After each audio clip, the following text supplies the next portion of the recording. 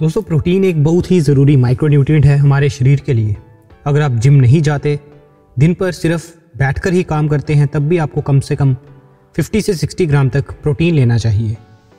वो लोग जो जिम जाते हैं और बॉडी बिल्डिंग करते हैं, उन्हें one gram protein per pound body के हिसाब से कंज्यूम करना पड़ता है अपने मसल बिल्डिंग गोल्स को और फैट लॉस गोल्स को अचीव करने के लिए।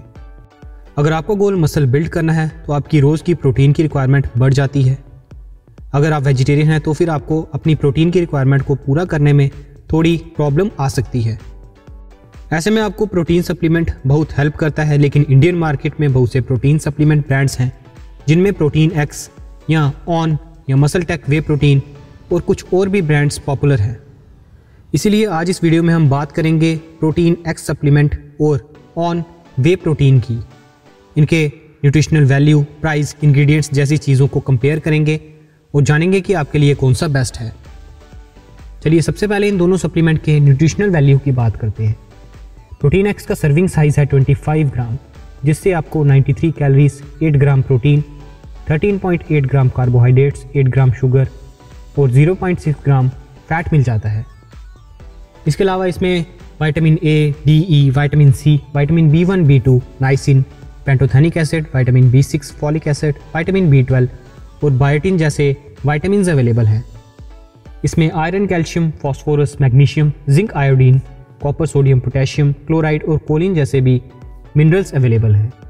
प्रोटीन एक्स की 25 से 30 ग्राम सर्विंग से आपको करीब 10 ग्राम प्रोटीन मिलता है, जिसके साथ ही आपको इसमें 13 ग्राम कार्बोहाइड्रेट्स और 0.6 से 7 ग्राम फैट मिलता है। साथ ही आपको 10 ग्राम शुगर भी मिलती है। मतलब कि आपको जितना प्रोटीन मिलता है उतनी ही शुगर भी मिलती है इसमें। दूसरी तरफ़ वे प्रोटीन की 30 ग्राम की सर्विंग से आपको लगभग 24 से 25 ग्राम प्रोटीन मिलता है और साथ ही सिर्फ़ 1 ग्राम कार्बोहाइड्रेट्स और 1 ग्राम फैट मिलता है।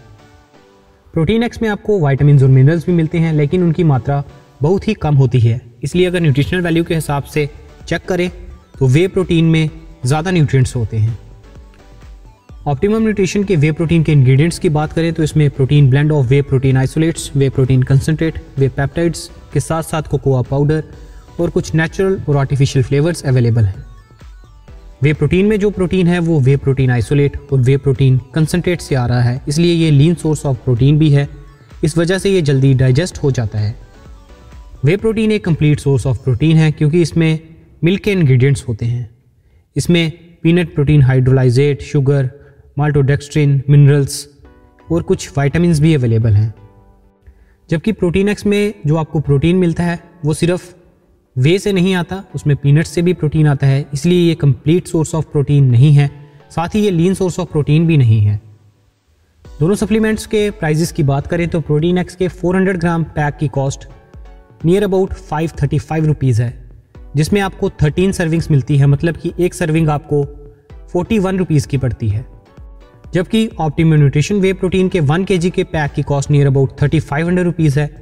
उसमें से आपको 30 सर्विंग्स मिलती हैं मतलब कि एक सर्विंग आपको वन हंड्रेड सिक्सटीन रुपीज़ की पड़ती है, जो कि प्रोटीन एक्स से तीन गुना महँगी है।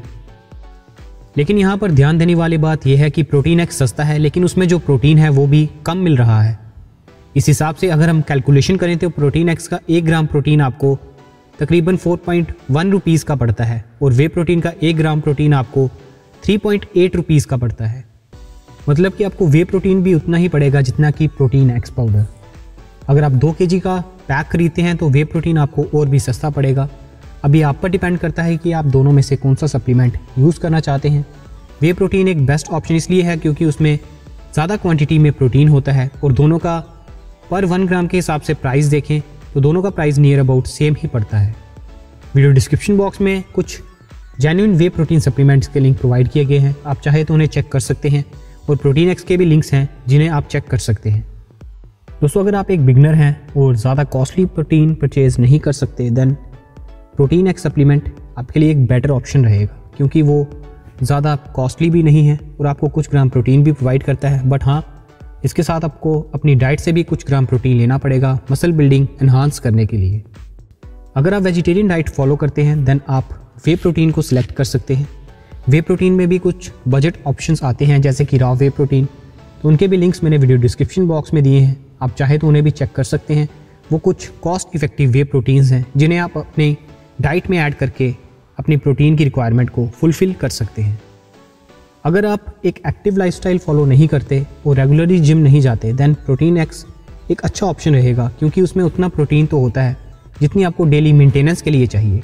लेकिन अगर आप जिम रिज़ल्ट के लिए प्रोटीन लेना चाहते हैं देन प्रोटीन एक्स का जो अल्टरनेटिव है, वो है वे प्रोटीन तो ये आप पर डिपेंड करता है और आपके गोल्स पर डिपेंड करता है कि आप कौन सा प्रोटीन लेना चाहते हैं. गाइस आई होप आपको ये पता चल गया होगा कि कौन सा प्रोटीन आपके लिए बेस्ट रहेगा. एज अगर आपको वीडियो यूज़फुल लगी तो इसे लाइक और शेयर करें and keep watching Amandeep creations YouTube channel